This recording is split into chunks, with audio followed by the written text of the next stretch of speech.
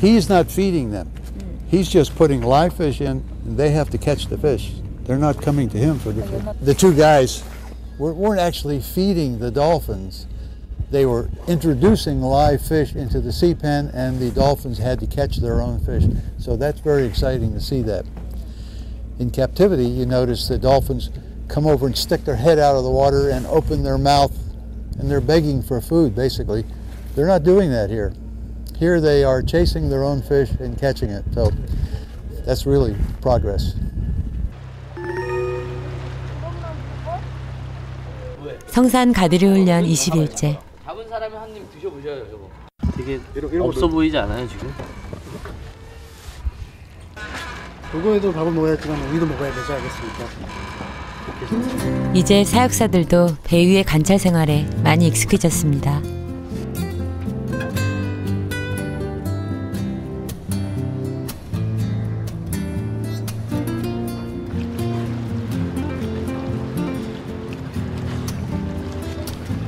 녀석들 꽤나 심심한가 보네요.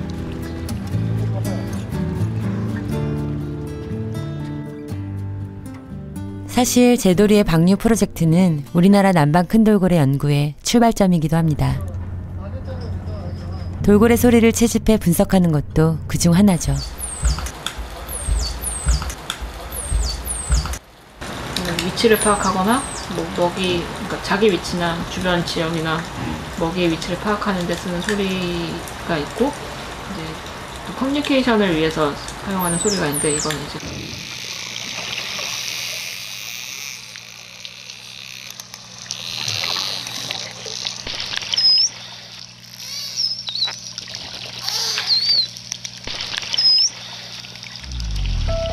언젠가 사람이 돌고래와 대화할 수 있는 날이 오면 꼭 한번 물어보고 싶네요. 제돌아, 바다로 돌아오니까 행복하니?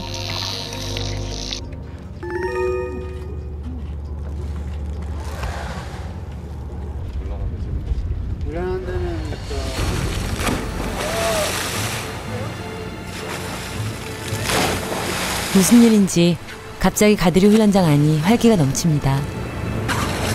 오, 얘들아, 왜 그래? 잠깐 잠깐 잠깐 나간 거야? 저기 어. 잠깐 쟤 누구야? 주문 어 됐다 됐다 뒤에 뒤에 뒤에! 한팔이 아니에요? 저기 그래도 불러서 좀 이렇게 어배 쪽으로 안 가게 어떻게 좀 불러볼 수 없어요? 이 주변을 도는 것 같거든요 박사님 되게 이상한 거죠 어? 다른 돌고래가 왔나? 라고 싶어음에 생각을 했지만 설마 왔, 왔을까 하고 제가 빨리 내려가서 확인해 보니까 산파리가 밖에 나와서 예, 숨을 쉬기 위해서 나온 거였어요 가두리 그물은 파도에 쓸리다 보면 이렇게 구멍이 자주 난다는데요. 호기심 많은 산파리 녀석이 그 작은 그물 틈새를 놓치지 않은 거죠. 야생 적응 훈련 3개월 만에 용감하게 바다로 훌쩍 나가버린 산파리.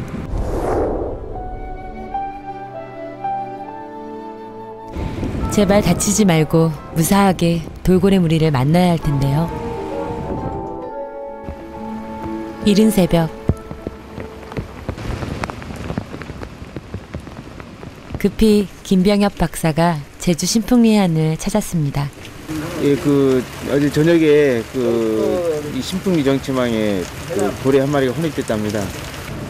그 1년에 한 두 마리, 세 마리 정도는 들어요.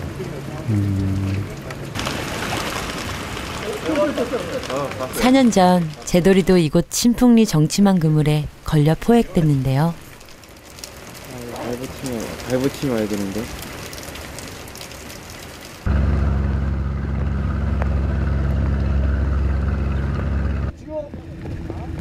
그물을 이제 뭐 시방향 이렇게 야 이거 먼저 막으라. 몰아가야 돼요.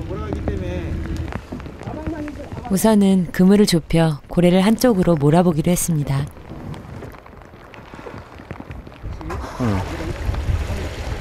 자칫하다가는 이제 그 배로 올릴 때 같은 경우는 그 갑자기 이제 스트레스 받아가지고 이제 쇼크사가 올 수 있고요. 그물을 이제 풀어가지고 하게 되면은 이제 여기 있는 어류들이 이제 다 빠져나가게 되는 거죠. 그러니까 이제 어민들이 이제 손실을 보게 되는 거죠. 그러니까 이제 그 가운데 고래가 고래가 이게 그 잘라 먹었네 머리 부분만. 그물이 좁혀오자